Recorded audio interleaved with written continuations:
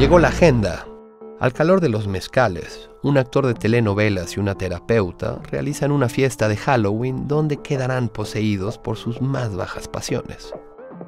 El universo brechtiano es reconstruido por las directoras Yona Weisberg y Aline de la Cruz, quienes a través del teatro de cabaret presentan la historia de una antiheroína que transita por un mundo violento y convulsivo.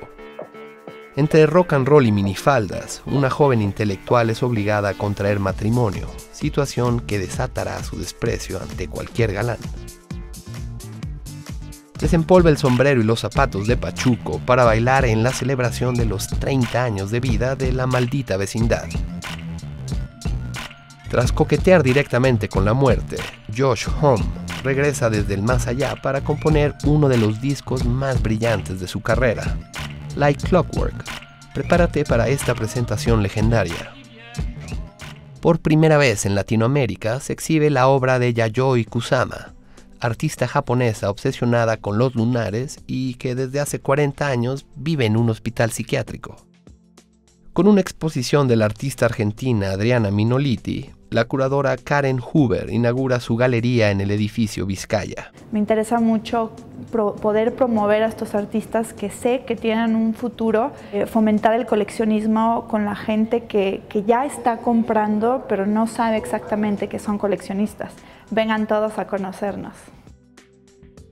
Mediante juegos visuales, siete artistas coreanos mezclan lo natural con lo industrial para reflexionar sobre la sensibilidad y pensamiento de su país natal.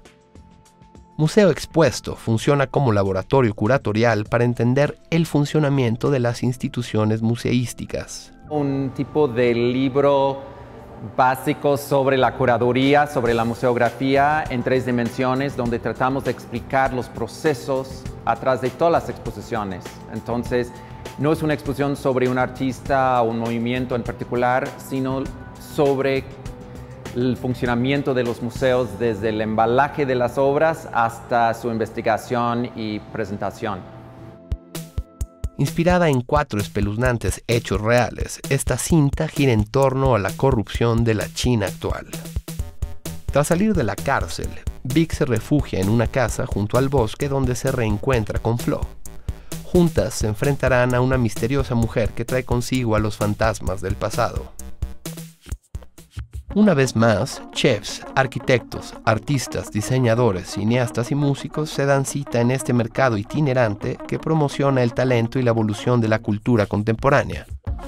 Fina selección de eventos que no te puedes perder.